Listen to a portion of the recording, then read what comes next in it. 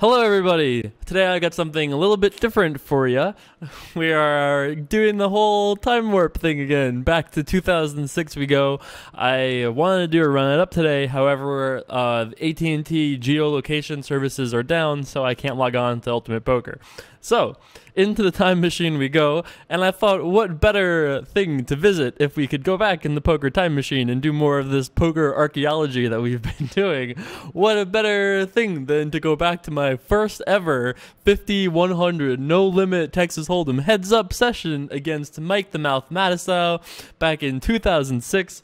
I I remember this night still. I remember where I played. I remember how I felt. I thought it would be cool to share that with you guys. So uh, for a little bit of context, uh, back in 2006, I was a wee lad, only 19 years old. Yes, that's right. I probably had about I'm not sure how much money I had at this point in my bankroll. It could have been anywhere from like uh, 50k to 150k. I mean, I haven't gone back to like research it. I'm sure I could find out if I looked, but I'm not really sure. Uh, I remember being away when this had happened. This was during uh, Turning Stone's poker series in August. So I remember just being in my room hanging out, and I saw Mike Matusow sitting at 50, 100, no limit. And I was like, all right, sure. What's the worst thing that can happen? So this was uh, the highest I had ever played. I had played 2550 before a little bit, but hadn't had much success much success, excuse me, so far. Um, I had played never 50, 100 or higher before. This was definitely the highest I had played. So with that, that's pretty much all the context I can give you. I hadn't met Mike yet in person. Mike, Mike and I at this point have become pretty friendly, but uh, at this point in my my universe, I'm sure I'm sure I had not met Mike yet. So with that all being said, let's uh, see how we do here. Let's let's take a look, huh? All right, let's get this hand going. So, Mike, uh, you can already see that I bought in for 4K instead of 8K. Mike had 8K and I sat with 4K. I think, yeah, I must have sat with 4K. So, uh, I, at this point in my life, I would never do this to somebody who's sitting with 8K, just sit with 4K and be like, let's play heads up. Like, I would usually buy in for 8K. Um, but at this point, you know, I figured, hey, why not? Four thousand dollars is more than enough. So all right, there we go. So Mike raised to, to 300 here on the button, and I think a6 offsuit is certainly fine to defend. Let's see what 2006 Jay Carver decides to do. Um, just for some more context, my Heartland Poker Tour final table was in May of this year, right? I think that's right. Was it 2007? I don't even know for sure. I'm not going to guess because I'm not. I didn't double check before I started this video, so you'll be able to find out because I'm sure I. Well, we could even go check ourselves, I guess.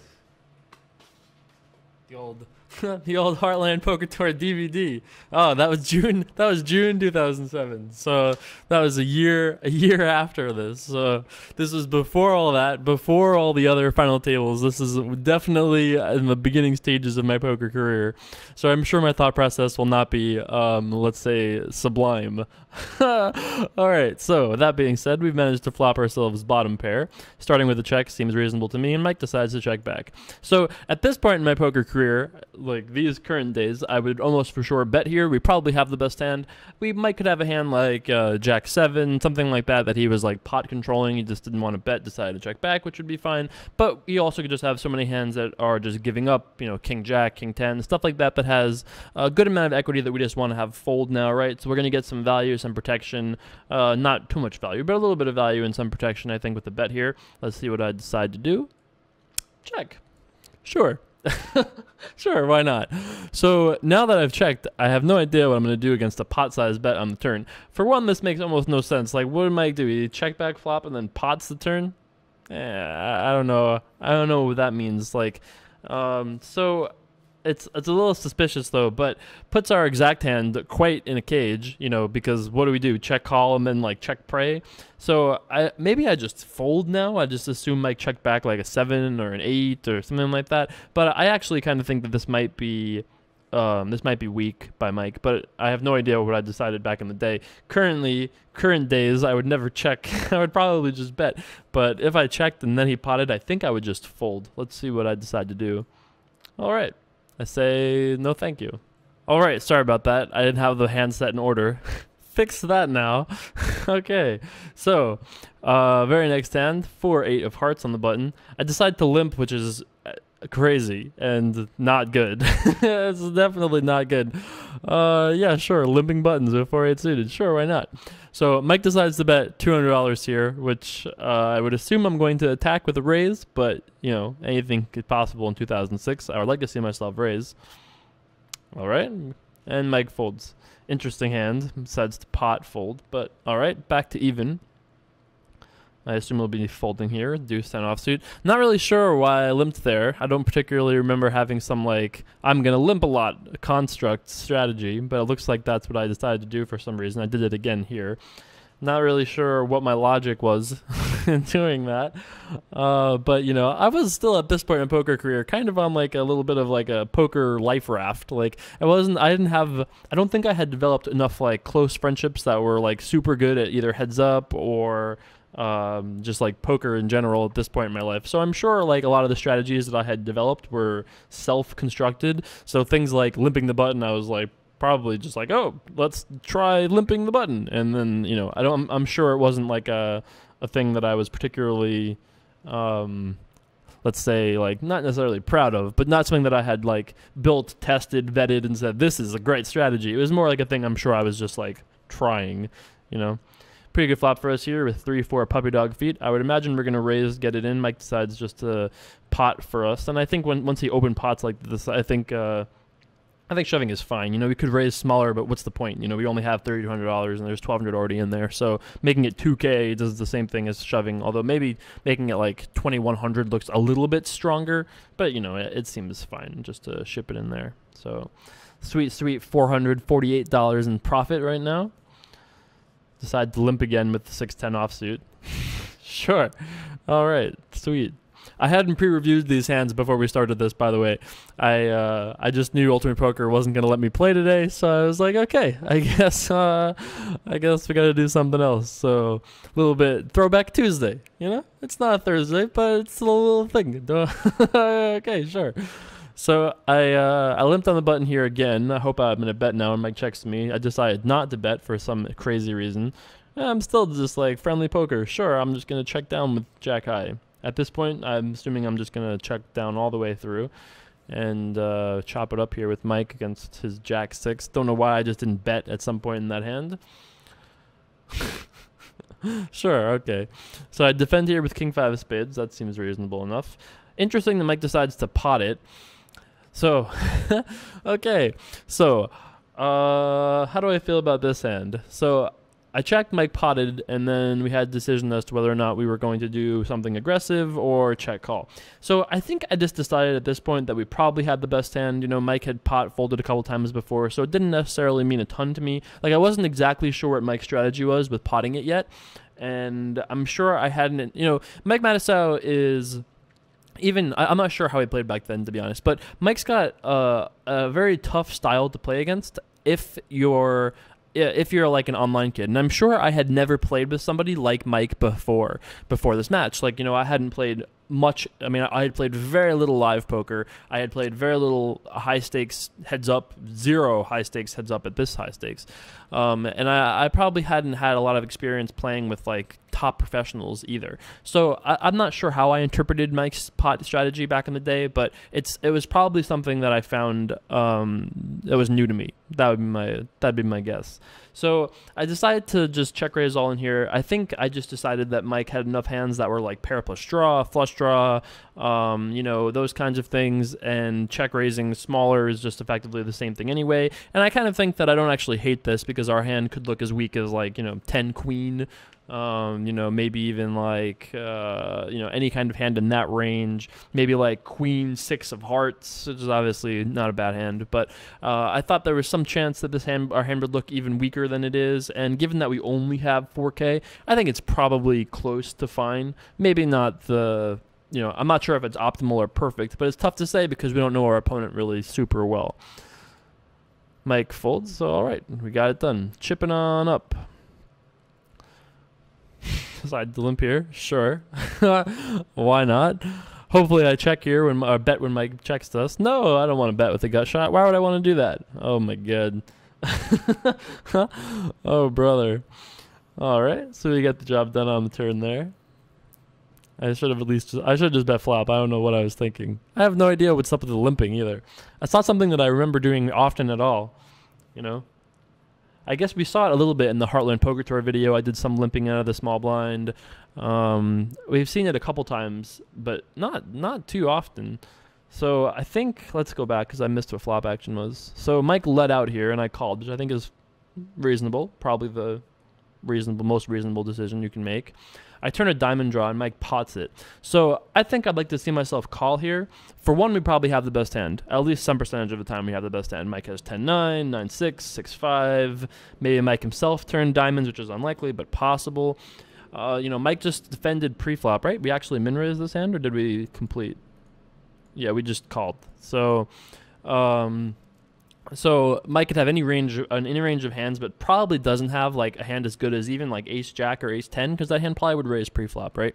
So he doesn't have too many hands that make that are super strong here. You know, if he had pocket sevens, pocket eights, pocket aces, even a hand as good as like ace eight suited, ace seven suited, he might just raise those pre-flop. So you have to discount those slightly. Is it possible? Of course. Is it probable? I don't think so. So uh, given that, uh, I think that we could definitely be behind uh, an eight of Mike's, like ace deuce offsuit, something like that. Um, I think those hands are reasonable. But even like ace deuce offsuit doesn't like really want to pot pot, right? That hand doesn't super really want to do that. Um, but I think calling makes the most sense. What does raising really accomplish? Like, is there some chance he folds a better hand than us if we raise? Yeah, for sure, right? There's some chance he folds an eight or an ace, something like that. And um, so raising is certainly valuable, but I think calling is fine. I don't think there's anything wrong with, with calling against an opponent. We're not really 100% sure of what his strategy is here. Let's see what I decide to do. I'm afraid to know. My guess is old Jay Carver called, but who knows? Okay, we call. Let's see if we can just bink the old blue ball on the river. Oh! it's been so long. I really wanted to ring the bell, and I didn't know if I got there, so I was excited. All right, let's see if we get it's a pile here. All right, Mike decides to pile it. So Mike decided to, to check pre and then pot, pot, pot.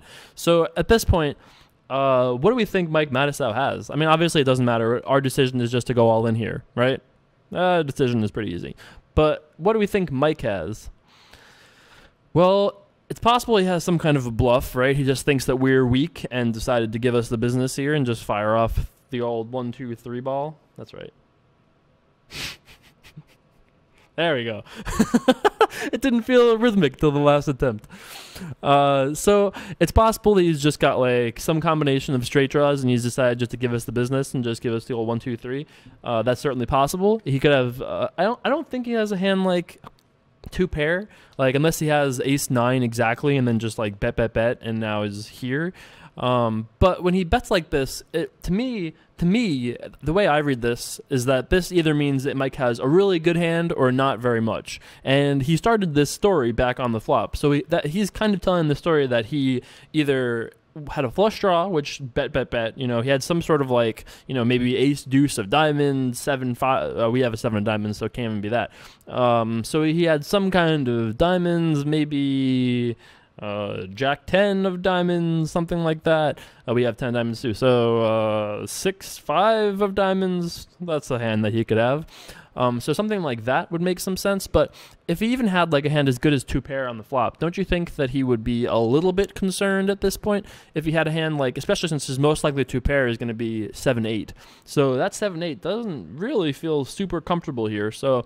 I, I don't really know how to how to interpret this exactly because I don't know Mike's strategy or Mike's thought process or anything like that but um, this doesn't seem like it makes a lot of sense to me as strong. But our decision obviously is very straightforward. We're just going to shove. But I don't know what in the world Mike Mike has here. This this seems kind of uh, kind of weird to me. Oh, all right. Let's see what he's let's see what he's got. I thought we just would win this, but all right. Let's see. All right. Interesting. Interesting. So, nice little old uh, 10k ball there little 10k pot. So let's let's see that river. Let's think about what it, let's think about Mike's decisions here. So Mike has 9-8 offsuit here, checks pre-flop, which makes sense. Bet out on the flop, which also makes some sense, especially if he if he correctly or perhaps correctly um, figures that we would raise an ace pre-flop on the button. Not to say for sure we would. I'm not even sure if I would or wouldn't back in the day, but he probably guesses that correctly and then decides to bet 200 for straight up value. That makes sense. And then on the turn here, he probably correctly again assumes he has he is at least likely to have the best hand, which he's correct about on the turn. And on the river, we kind of hit the perfect card where he improves to two pair and we have a flush. However, when he pots it, when he pots it like when he pots it like this, I feel like his decisions have to be have to be to just bet fold, right? Like how how does Mike decide to bet call here? Like it doesn't make it doesn't seem to make a lot of sense because what do we have that is worse than 9-8 that would limp pre call flop, call turn, shove river, right? Unless we're doing some sort of like a bluff here and we just happen to have like 10-9 or 9-6 or one of those types of hands and then decide to bluff you know that's the only the that's really the only hands we can show up here with that even have an opportunity to bluff. Everything else is like ace 10 ace jack. You know if we had a hand like ace king we're just going to call. We're not going to shove right? Uh, or at least he probably thinks that that's what we're going to do. So I don't really love Mike's uh, bet call here, but you know we did get kind of lucky to obviously hit the perfect card in the deck to to cooler him. Little 11k pot over there. That might have been my no. The, there's no way that's my first 11k pot, but I'm sure it's uh it's probably one of my first 12 or something like that. Oh, we went back in time. All right, next hand. All right, so let's see if Mike reloads here. I'm pretty sure he might. All right, we got ourselves a heads up match. I continue with my limping. That's actually probably fine in this particular instance. Like before now, it was almost for sure bad. But in this particular case, it's actually not the worst because we think Mike might be steaming. We think he might be kind of aggressive. So with a hand like this, limping and letting him raise makes some sense, right? It makes a little bit of sense. So we limped and Mike raised and then we called. We've now flopped an open ender. I think given that Mike just lost a big pot, I, I think that we are most likely going to just call here, right? I think we're a little afraid of raising because if we raise and he just has like pocket nines, he might just ship it in our face, which is not an unreasonable thing given that there are two diamonds on the board. So I think our our best strategy here is just to call. Let's say there's like let's say like a nine rolls off and he just has ace queen he may check fold. That would make some sense, and we have obviously five high, which would be great with us. Uh, turn card could be like a, you know, it could be a ten of diamonds, and he might check fold like a black ace king, something like that. So I think calling makes the most sense here. Raising doesn't seem like it would make uh, make the most money. That's for sure. Do decide to call. King of Diamonds is a pretty good card for Mike. I mean, he's obviously going to be a little afraid of us having a flush, but uh, King is going to be better for him than it is for us um, generally speaking. So let's see what he decides to do. So I think at this point against the pot, we have to just fold. Uh, maybe if I had an enormous bankroll and and really like was feeling my oats, I could consider shoving this turn here. like it's at least somewhat possible that he's like steaming and just like clicking buttons and his bet folding on this turn. But it's ten thousand dollars to a nineteen year old kid living at my parents' house, you know? like I can't you know, I don't think I'll be bluff shoving here, but maybe something miraculous occurs. No, logic rules the day, I'm afraid. And uh, that one goes over to Mike. Mike decides to limp now. Alright. We're all just friends here, limping buttons. Sure. Alright, so Mike decides to check back on the flop. I make a stab here, which I cannot imagine possibly works. When you limp the button and then check back this flop, you're almost for sure not like you're not going to fold this turn almost ever. Like I almost would, I would bet that this hundred twenty five dollars more likely than not goes over to Mike, and I have no information whatsoever as to whether or not it does. I just think this is a, a bluff that just doesn't work very often. Shows me, shows what I know. I was like, uh, I thought I didn't say it never worked. I'll defend that a little bit. I didn't say it never worked. I just think that it works not that often. You know, it works less often than than it needs to work. Um, maybe I had some devious plans of river damage, but against in the mood that I think Mike might have been in, I don't know if it necessarily made a lot of sense. Again, I decided to limp the button here, so we're doing like an investigation into 2006 button limping.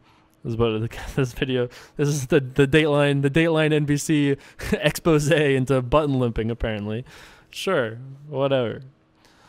All right, so we're doing so far so good. We've uh, managed to run it up from 4K to ten thousand three hundred dollars. Not the worst day's work so far. About to get a little bit better with two eights here. Decided just to call. I could re-raise, obviously, that would have been certainly fine, but I decided just to call. Uh, yeah, I think that's you know, it's just a matter of like, I mean, you're, you're, it's a matter of like your entire strategy to the heads up match, right? Like what your plan is for this and that and everything else. So I think calling is fine. Raising would also be fine. Depends on your entire strategy perspective, stuff like that. So we're lucky enough to bink the old three of a kind, and Mike decides to pot, which is very sweet of him. So I think there's only really one decision here, and that's to check raise, not fold. You know, when Mike pots like this on a board disconnected, if has if he has any like solid piece, he might just ship it in our face. He could be steaming right now, right, which is at least somewhat possible. By the way, new microphone. We didn't even talk about it yet. I forgot to mention it. We've uh, we've ran up the microphone from the old old Nessie, which has been which has been uh, I've been recording off of that for probably since these days in uh, 2006. Finally upgraded to real mic cable. Yeah, that's right. So uh, so yeah, a little professional upgrade in here. Anyway, back to this whole poker thing. So I uh, think we'd win the check raise. If I check call, I would be shocked. You know, there are so many cards that can come that will make us uncomfortable, and I'm relaxing. I like to relax. You know, I don't need to be uncomfortable. So I feel like you know any kind of 10, 10 Jack, Diamond. Uh, they're all they all make us, and there's not a ton of them, but there's at least some hands that are, that, that make me uncomfortable, or some cards that'll make me uncomfortable and might shut Mike down. Like if he has Ace Queen and it turns to ten, it's just so disastrous for us, right? So given that he potted, he raised pre and potted, he's already shown strength. So I think it makes sense to try to come after him with a check raise. Somewhere in the in the range of like 1800 is probably correct. 2k seems fine, you know. I mean, it seems fine. I mean, is it exact optimal precision betting? No, but it seems like it's in the ballpark. And Mike decides to fold. So interesting that he's capable of, of bet folding for pot on that board definitely worth noting. Finally take a hand off. All right. There there you go. Finally finally took a hand off there. All right. Defending with three deuce offsuit or three deuce suited in the big blind. Sure. You know, why not? I think I would have preferred myself to either re-raise or fold that hand, but apparently I didn't feel that way. All right, I'm happy to see myself limp here. Uh, if I'm going to limp with all his other hands, I should be limping hands this good. Mike decides to check. Now he decides to lead. So 2013 Jay Carver sees this and is like, all right, well, we have to call because ace queen is a beautiful hand. How do we say no to ace queen? We just limped preflop. You know, we could definitely be ahead. I don't know if 2006 Jay Carver appreciates the value of ace high as much as I do now, you know. In your old age, you appreciate things like ace and king high. I don't know if I appreciated that as a whippersnapper. So let's see what I decide to do here. No appreciation. no respect. no respect. All right. So off to the next hand we go. I don't know what to say. I didn't appreciate it back in the day. I just didn't appreciate it. All right. Decide to limp fold to Mike Matusow. Okay, I guess that's fine. I mean, we did have a hand that was pretty shitty, and I guess we can limp fold sometimes, but I, I wouldn't have hid to see myself either limp call. Obviously, raising would be fine, but apparently I'm not in the mood. Although sometimes I do raise, so I'm not really sure. You know, I have a feeling that my I have a feeling that my thought process here was very much like a bit of a lottery. It was like a roulette wheel. I was like, all right, what are we going to do today? Spin, raise, call, or fold. Spin the wheel. like, that's kind of how it feels. This kind of works a little bit, I think. So I defended here with four deuce suited, which again, I'm not really a big fan of. Flop went check, check. And then on the turn, I decided to lead, which makes some sense because you check back on flop. And then Mike uh, pots it, and we just have to fold.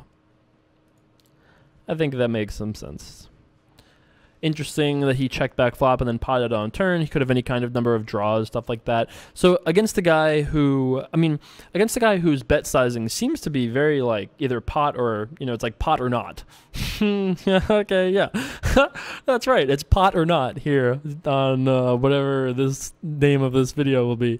So uh, I think that against the guy who does that, you're going to have to kind of make some decisions in terms of like, if if he's really like almost having like a binary bet size. By the way, Mike's game has evolved tremendously since these days, of course, you know. But uh, I think that when when somebody is either potting or you know calling or folding, you know, I think against a guy like that, we're going to be a little bit more we need to be a little bit tighter, I think, and I think it, it encourages us to, to, take more stabs with our bet sizing. Like it encourages us to be smaller with our bet sizing if our if our opponent is is like just blasting it when they decide to bet, right? Because it, it, encourages us to make small bluffs. Because if he wants to rebluff, he's just going to pot it. It encourages us to make small bets with our value hands also. Because if he wants to attack us, he'll just pot it, right? So if he's on that strategy, then I think the the best way to do it is almost to like jab a lot and like bait a lot, right? How do you like that? This is my feeding the ducks. That's right. sure, whatever, Jay Carver. whatever, Jay Carver. All right. so Mike limped, I raised, and he called. I bet on the flop, and again he called. Now, once again, the king turn card, I'm not necessarily sure how I felt about this turn card back in the day. Like, these days, I would say, oh, the king is probably fine for me because, you know, there's some chance he might even fold a better hand than ours, although, you know, very tiny chance he'll fold a jack. But I think that. Uh, I don't know actually. It depends on your opponent, but I think I would like to see myself bet on this turn. Uh, you know, because we'll, bet, we'll betting here. It's almost like a, it's almost like a merge right? If you're really into heavy poker content, like imagine that imagine that we're to be imagine that we show up here with we don't know what we have. You know, we, we're here with like all sorts of ace queen, ace 10 suited. You know, we're here with all sorts of hands that were good enough to raise pre-flop and good enough to bet on the flop, which pretty much just means that there are two cards. And uh, and now here we are on the turn. So given that the king is a scary turn card, we're going to be betting with a lot of hands that show up here, right? Almost every hand that has been on this wagon that has made it here is going to want to bet if they don't have it, especially. But even if they do have it, they kind of want to bet. So I think tens should just be bet because we're, we're betting with everything here, and there's some chance he'll call us with worse still. He could put us on diamonds, ace queen, queen ten. He could put us on all sorts of hands and call with like eight nine. He can call us with ten nine, seven nine. You know, all sorts of things like that that we're actually ahead of. And once in a while, he actually folds better, especially by the river. But I'm not too concerned about that that's a pretty narrow aspect. Back in the back in these days, I'm not really sure. There's some chance that I end up check calling, which would be fine. As long as I don't check fold, I'll be okay with what I did here. Betting seems cool with me, and Mike decides to call. All right, so here we are now on the river. 32 hundo in the pot.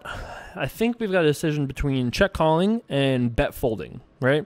We're not going to be bet calling. That seems silly. So I think the let's let's let's take a walk. let's take a walk. Would uh, what makes the most what makes the most money here, right? If we check, if we check, what does he do? We check, and he has. What hands does he have? He has some sort of straight draws. He has eights. He has sixes. Sometimes he has jacks. He has a couple kings. Right? He could have king queen. He could have a king ten, something like that. And he just wanted to call flop. He could have king sometime. Uh, if we check, if we check, there's definitely some chance he decides to bluff. Some chance he decides to bluff. Yeah, he can have missed draws. Seven nine got there, but he could have ten nine. He could have queen ten. Um, he has he has enough draws that we could check and give him a chance to bluff for sure. Uh, there's also some chance that if we bet, the Mike could decide to do something crazy and just stick it in our face and just blast it, you know, and just say, "All right, I'm all in," and then we're just folding the best hand, which would suck especially since how much money is in the pot, you know, generally, it would really suck to bet like 2K here and have Mike shove, and then we're just like, oh, fuck, and have to fold. So I think that check check calling makes makes some sense. Betting is okay because of the fact that he could call us with hands like if we think Mike has pocket nines, an eight, pocket sevens, a six. You know, if we think Mike has more hands that want to call, then we'd want to bet. You know, if Mike has the the decision comes down to this, right? How many pairs does Mike have versus how many hands that will bluff if we check and uh, or you know we can pot control a little bit against that if we also check. So I'm a little afraid of checking because I think there's some chance that Michael just bet three thousand dollars, which would kind of suck. But I don't know what I'd do back in 2006. Like this is a pretty advanced uh, thought process, and I'm a hundred percent sure that my logic was not good enough to like really suss out what the correct play was back in 2006. So I spun the mental roulette wheel, and uh, and let's see what I ended up guessing to do. I mean, I'm sure I wasn't like quite guessing, but I, I certainly feel like my thought process these days is a lot better at figuring out what is likely the best thing to do than back then when I, I was probably like, well, I've got two tens. Uh, it was much more like gutty, you know. It was uh, it was uh, much more gut instinct play back in the day by me. So I decided to check, which I think is actually probably the better decision. But uh, let's see what Mike decides to do here. Check. So we almost for sure win if Mike's checking back. I mean, he would lose to like some jacks that he has, but I feel good about it when he checks back. All right, so we do lose his hand to to Jack Nine suited, which makes sense. A little surprised that Mike didn't want to bet, um, but I don't know how long he thought about it because we don't see time. So I'm not sure how long he thought about it before he decided to check. You know, there's some re- logic to betting just because of the fact that, you know, we probably don't have better than a jack and then would play our hand that way and then check, you know. But uh, if he's going with his pot or not strategy, then you don't really want to pot with that hand because that's going to drive out uh, so many of the hands you want calling, you know. So, uh, yeah, okay, interesting hand. Decided to limp here on the button with 7 9 offsuit. Mike decides to check. And I assume that will be that. All right, so it's uh, the revenge, the revenge of Mikey over there. you know, Mike Matusow strikes back. Sure. All right, it's a poker game, boys and girls. I don't know why I'm deciding to raise sometimes. Like it feels very uh, spora- spontaneous. It feels very like unconstructed. I was just like clicking buttons to some degree. I I think like there was no great strategy to to what I was doing. I believe. All right. So we managed to flop, or we started with a pair. We still have a pair. and Decided to check fold, which I think makes some sense. Enough sense for me. Interesting, man. I had no idea that I did this. Like, I had remembered, I had always remembered that I played Mike Heads Up, and it was my first, like, 50, 100 Heads Up session, my first high stake session. Like, I definitely, for sure, remembered the session. But I had no idea how much limping I did. Kind of interesting. Pretty good flop for us with Queen 4 of Spades. Check raising makes sense. Oh, all right. Well, hmm.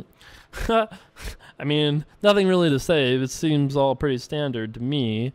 It's uh kind of wild though. 200, 800, 2600. I'm I'm all in. I'm all in.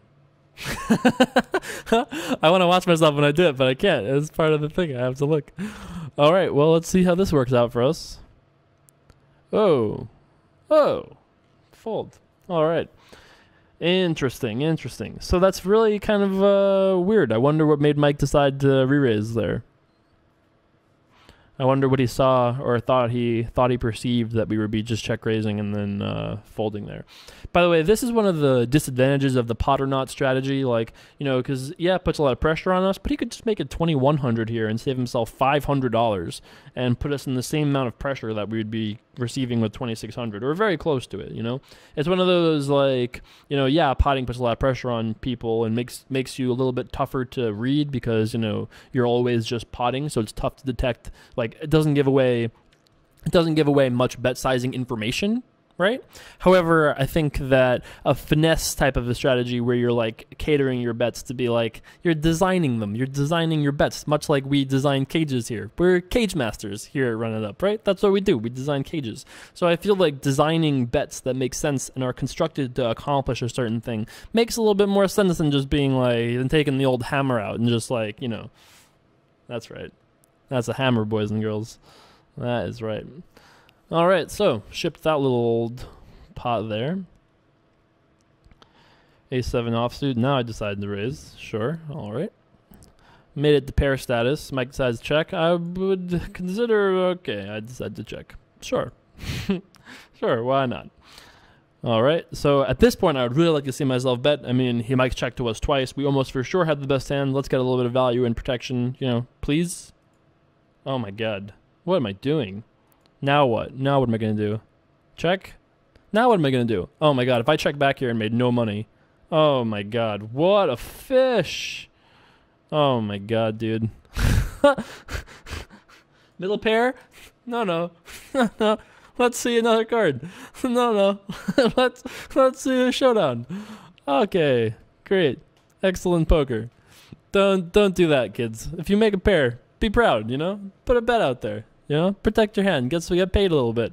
It's tough to make pairs. You know, get get your money's worth. God, that was sad. All right, king and queen. Another call from us. Mike decides to bet. So we've got ourselves a decision path here between calling and raising. I think that we haven't really got a dynamic where we want to like raise, get it in, you know, and not necessarily raise, get it in. We could definitely raise here. I think raising here to like five, six hundred puts pressure on Mike, and uh, we would just call if he re-raises, which is fine. You know, we could definitely take that path. That's certainly viable. Calling is fine as well. It all depends on what our general strategy is and how we perceive Mike. Uh, let's see what we decide to do here. Calling seems reasonable enough. So I have a feeling that this is going to be a, a, turn card that Mike's going to give us the business on. Like I have a feeling he's going to bet uh, 600 here and probably bet 1800 on the river. That's just my guess. This is what's going to happen here. With our hand being as good as it is, we probably can't fold unless the river is like the six of clubs, you know, or even just like you know, there is there are some river cards we'll fold to, but our hand is just so good here in a heads up game against Mike. I don't think there's any chance we can get off this without some like real encouragement. Oh, what? oh my god, this is terrible. This is really bad. I mean, like I don't understand what at all this accomplishes. Like this is just literally spewing. Like it's literally just spewing. Let's say Mike has a hand like ace. If Mike ever has a hand worse than ours and just has like a flush draw and chips it in our face, oh my god, it's such a catastrophe. It's such a catastrophe if Mike just decides to chip it in our face here and we're just like herfty derf fold. all right, I guess we're beat, and then we're not. Like this, I mean. I think my thought process was something like, okay, I probably have the best hand here, which is true. I probably do have the best hand here. Um, but if we don't, we're just giving him another thousand dollars, and if we do, we're we're I mean we're I don't know. If, if we do have the best hand, we're going to get a little bit of value out of this sometimes. If Mike decides, let, us say Mike has King Jack with the Jack of Clubs, Mike could play this hand exactly the same way, bet he would call or raise here, and then he's going to check on the river. Let's say the river is a deuce. He's going to check on the river, and then what? We're going to bet another 4K? Probably not right? We're gonna probably check. Uh, we're gonna be kind of afraid a lot of the time to do that, right? So we make a very similar amount of money, I think, by just calling turn and then making a decision on the river, versus doing this where we potentially get blown off of the hand and uh, could make some terrible mistakes here if Mike decides to just crush us and put us in the cage. Oh my god! If Mike shoves here, I'm gonna literally puke. I mean, okay. Maybe not immediately, but it's coming. Oh my god, I'm almost like afraid to hit play. All right, Mike just calls. That's a bullet dodging there. So pretty good river card for us. I mean, if Mike blasts it out here for a pot, uh, it's going to be brutal, but check. Okay. But this is exactly the situation where I'm talking about before. So let's say, you know, what are we doing now? Like, what in the world are we doing now?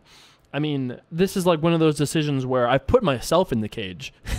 you know, like who needs to be put in the cage when we're putting ourselves in the cage?